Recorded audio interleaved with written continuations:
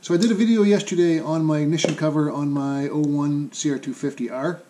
However, I'm replacing that video with this one because I was unaware of the copyright infringements on music playing uh, on your videos in the background. So no problem, no biggie. I wanted to take the cover off to show what might be revealed inside of this since I've had this off about two months ago when I first got the bike.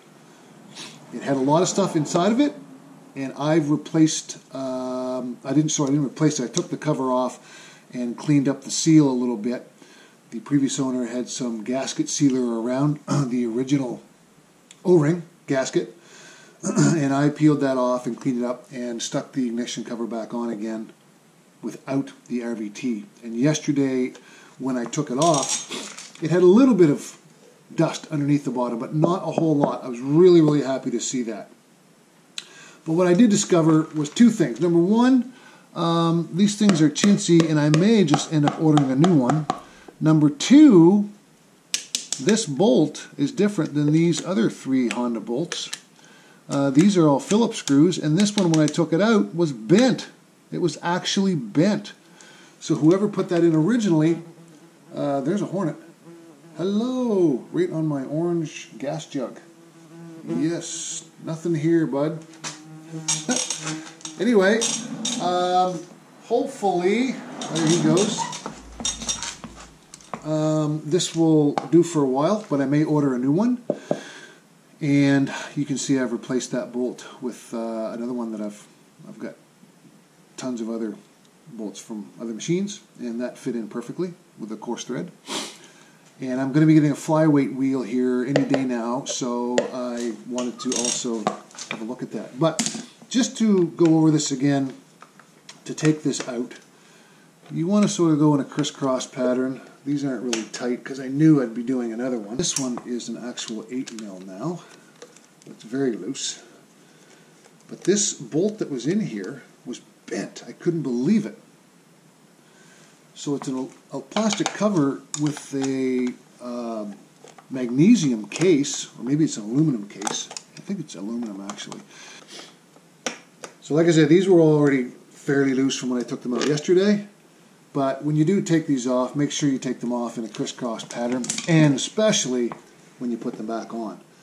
Now you may have to tap this to get yours off um, a little bit if you haven't had it off in a while. But if you do tap it, just tap it lightly around the sides and just slowly peel off and the gasket may or may not come with it. Now I had this off already and you can see still that the gasket wants to stay in some places. So just have a look. At the very bottom it's kind of holding on there so I'm just going to slightly peel that off.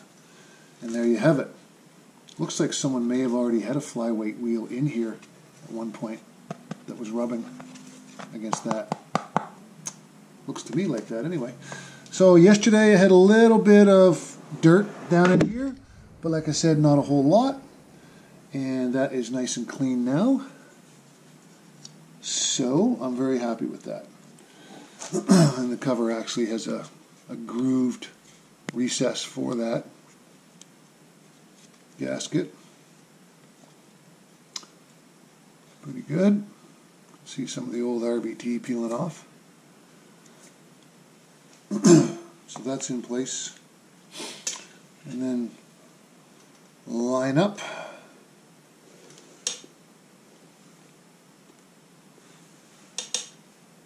And insert your bolts slowly so they start to grab a little bit to take hold.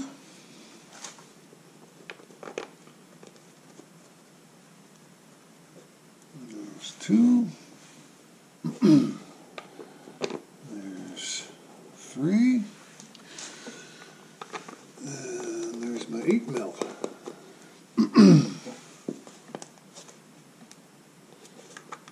Alright. Slowly snug that. Like hardly at all snug.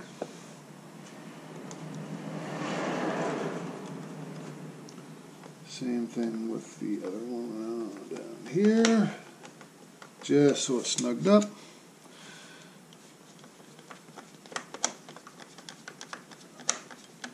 just butt it up. Boom. And then this guy. Be careful when you're putting these on because, like I said, this is plastic and you can already see in one of these tabs, this one down here, if you can see that, right where the screwdriver is, that's already been split from someone tightening that bolt too tight. Go easy on the tight. My friends always tell me. Easy on the tight. Especially when you're dealing with aluminum. In this case, aluminum and plastic. And that should probably do it. You just really want to prevent water and dust from getting into this. That's about all. I'm not torquing these, but if I were, I'd have to look them up. And that's it. That's the ignition cover on an 01 CR250R. So hope you enjoy. It's pretty basic, but uh, feel free to leave any comments below, or if you have anything else you want to talk about or mention on uh, gnarly gnarly chicken. And we will talk to you later. Thanks.